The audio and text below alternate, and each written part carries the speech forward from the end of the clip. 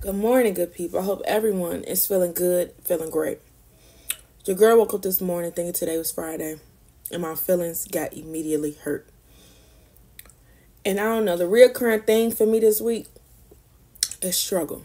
Your girl has been struggling all week. I've been fighting for my life, like for real. I keep saying that, but I don't think y'all really understanding what I'm saying. I'm fighting for my life over here.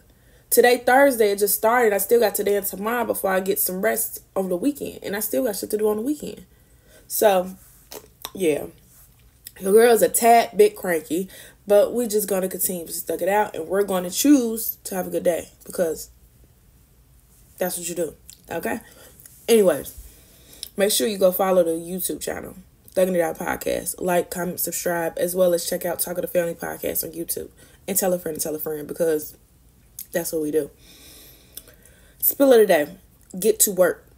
I don't know who needs to hear this, but I'm letting you know. Get to work. You can't get nowhere. You can't follow your dreams. You can't really get to the life that you really want without work.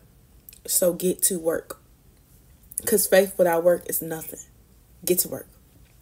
Uh, so that means go fill out some job applications. Actually take your ass to work and put in effort. Or it could possibly be sign up for school Start working on your dreams. Like stop stop playing. Like get up, get out, do something. Okay? Y'all already know Motherhood's panel this upcoming Saturday, 6 p.m. Make sure you mark your calendar so y'all can be live in the chat.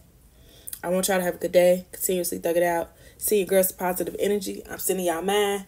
I love y'all. Have a good day. Peace.